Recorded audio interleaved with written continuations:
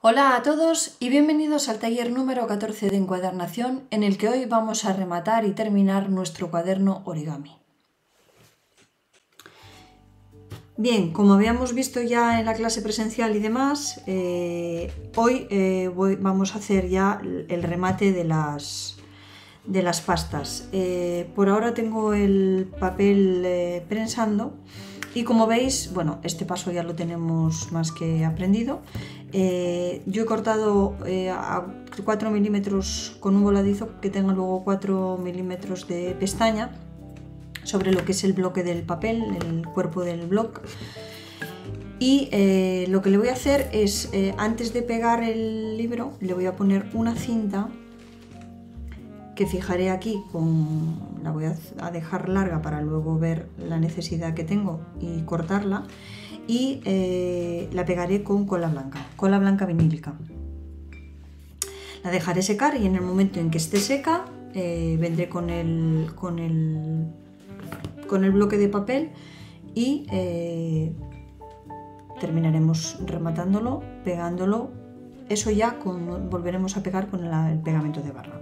Ahora lo que nos interesa es ponerle aquí un poco de cola para que nos sujete todo lo posible si estamos pegando, si estamos trabajando con papel normal, con 80 gramos, con un folio de 80 gramos, no sugiero que hagáis esto porque quedará, se verá borrón, ¿vale? Se verá, se verá mancha. La dejamos ahí, aproximadamente. Vamos a cortarle otro tanto de cinta.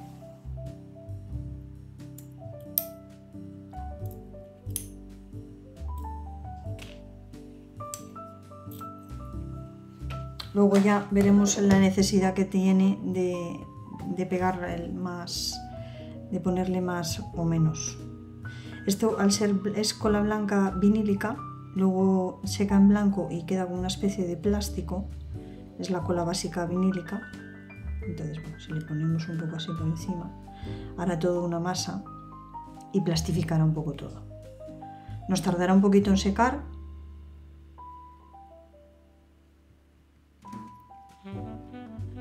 pero ahí tenemos la primera.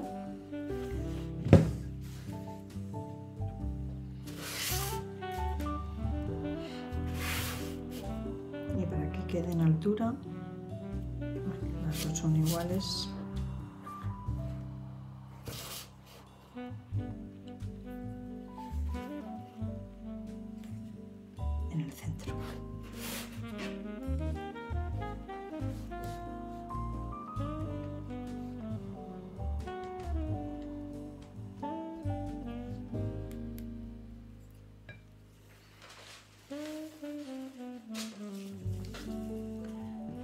le pondremos aproximadamente lo mismo.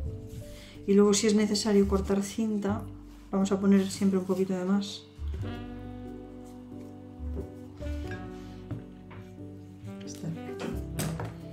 Si luego hay que cortar pues a cortar siempre hay tiempo. Y centrada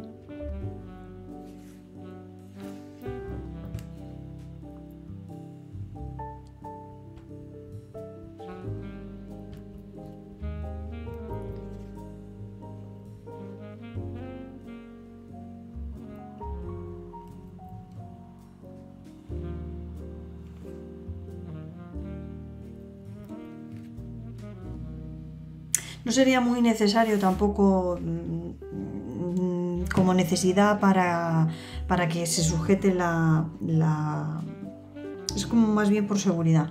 Porque luego el pegamento de barra a veces lo subestimamos pero pega muchísimo. Una vez que esté seco esto vendremos con el bloque y lo pegaremos como si esto fueran unas... como si fueran, no, son las, eh, las cubiertas del papel del cuaderno y esto ahora lo vamos a dejar que seque cuando esté bien seco meteremos el, cuerpo del libro. Otra cosa que quería aprovechar para comentaros. Eh, cuando hacemos, o cuando por ejemplo visteis en el primer cuaderno que hicimos, eh, por lo general cuando intentamos prensar, eh, con, lo vais a ver después como yo utilizo los acetatos, Cuando intentamos prensar, cuando todavía algo no está suficientemente seco, pero sí necesitamos que tenga fuerza para que pegue, aunque en la encuadernación la prensa solo sirve para planchar, pero para pegar depende de lo que estemos trabajando. Pero siempre que eh, utilicemos, por ejemplo, que estamos utilizando unas guardas que están recién pegadas, y aquí tenemos el cuerpo del libro a continuación, lo que sería el papel. Pues para meter en la prensa y evitar que la humedad de la cola pase al papel y nos haga lo que nos pasó en el a muchos de, a muchos de nosotros nos pasó en el cuaderno mariposa, se ponen unos acetatos, da igual el grosor, se pone algún tipo de plástico entre el papel y la cubierta, que en este caso sería una guarda que estuviera húmeda, y se prensaría. Entonces con el plástico, con el acetato o cualquier plástico, eh, que no nos deforme o no nos gofre el trabajo, sería eh, suficiente para que la humedad no traspase. Es un recurso que siempre tenemos que tener a mano el tema de los acetatos. Así que ahora vamos a dejar que seque y continuamos. Bien, mirar, ya estaría seco. ¿eh? luego cuando se pegue todo, todo quedará prensado, pero eh, la cola vinílica pues, bueno, pues hace plástico. Eh, os insisto que os lo dije anteriormente, si estamos trabajando con un folio, esto es por seguridad. Si pusiéramos una cinta la podríamos pegar perfectamente, primero con un poquito de pegamento para que se fije de la cinta al cartón y después todo por encima pegaríamos lo que es el bloque del libro. ¿Qué será esto? Yo ya lo he tenido en la prensa y como veis mm, mengua, ¿no? Ahora ya se, despliega perfectamente, como veis, y se vuelve a plegar solo, sin problemas, como veíamos al principio que al no tener eh, aún los, eh, los pliegues eh, bien prensados, pues todavía se iban para un lado y para otro. Bueno, este tiene pues alrededor de algo más de un metro y cuando lo utilicemos pues podremos utilizar, abrir así y utilizaremos toda la hoja. Es un cuaderno muy, muy de detalle, como os decía, os decía durante el mes de diciembre, para quienes estuvisteis el mes de diciembre en el, en el taller, mm, reservar y esperar que podréis hacer regalos avanzando el trimestre, que haremos cosas chulas. Ahora una vez que estamos aquí, esto ya lo tengo seco, tenía, lo he pegado solamente por, precaución para que no se me despegue, pero es algo opcional, al igual que hacerle la cinta. Siempre podemos, este tipo de cuaderno también lo podemos atar con una goma o cualquier tipo de cierre, lo que podemos comentarlo en la clase, a ver qué, podemos eh, ingeniar para, hacer, para hacer algo diferente. La cinta es una opción mía, algo que yo le pongo. Ahora bien, necesitamos pegar esta cara y esta cara a las pastas, ni más ni menos. Como yo os decía, he dejado 4 milímetros de pestaña para que, quede, mm, para que no quede a sangre y de la misma manera que pegamos antes con, la, con el pegamento metemos la hoja por ahí nos cercionamos de llegar a todas las esquinas. Le ponemos bien de pegamento, que ahora esto ya va a ser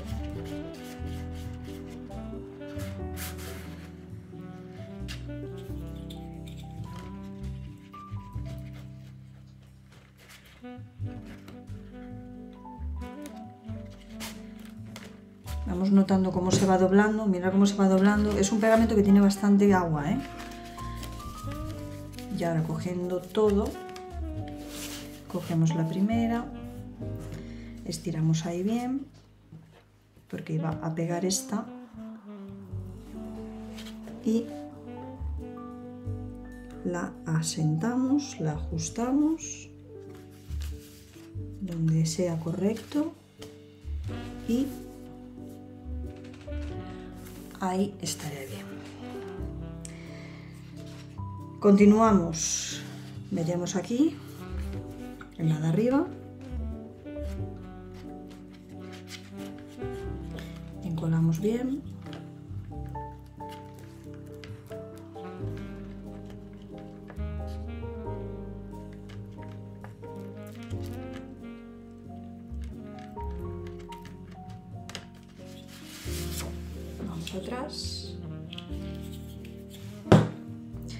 Y de la misma manera, aunque el, peso, el bloque pese, tener cuidado al cogerlo para darle la vuelta, cogerlo bien entero, así.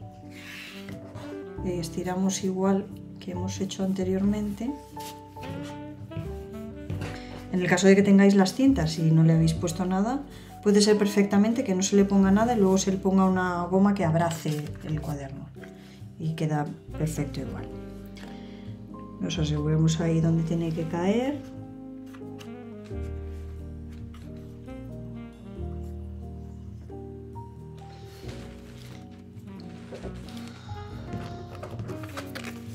Ahora si abriéramos, al abrir esta, fijaros bien, con la plegadera, le pasamos la plegadera por todos sitios que quede bien pegada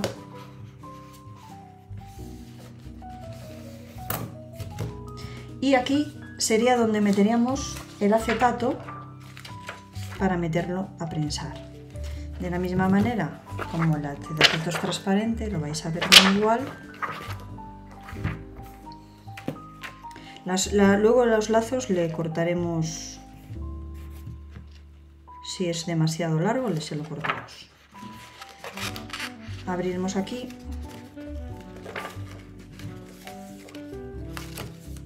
Y aquí, en esta última, que es la que está pegada, nos cercionamos con la plegadera, que hay cola por todos sitios, y le meteríamos el acetato aquí. El acetato va en la hoja que eh, está pegada, la primera hoja pegada eh, a las pastas. Vamos a sacar esta aquí. Y tal y como está así ahora, lo meteríamos a prensar. Así que vamos a por la prensa.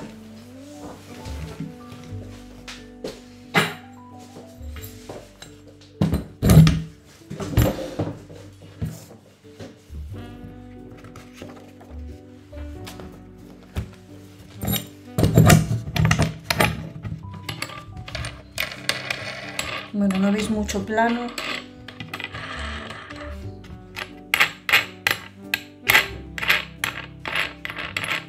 Pero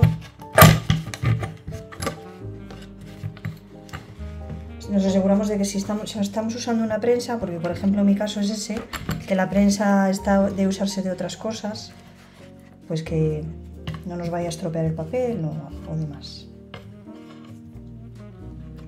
Lo meteremos así y lo prensaremos entero. Y lo dejaremos durante durante una noche. Como ahora ya está encolado y está prensando lo dejamos durante una noche y mañana estará perfecto.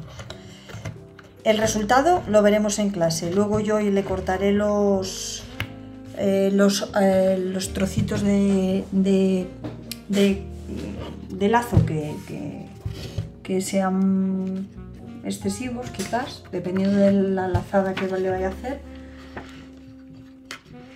Y ahora lo dejamos ahí en algún sitio donde no haga ni frío ni calor. Que se acomode perfectamente. Y ahí lo dejamos. Veremos el resultado en la clase. Cualquier duda o consulta, estamos en contacto. Me vais diciendo a ver qué tal, disfrutarlo, porque estoy segura de que este no vais a hacer uno, ni dos, ni tres. Y eso que ya han pasado las navidades. Disfrutarlo, que seguro que lo hacéis.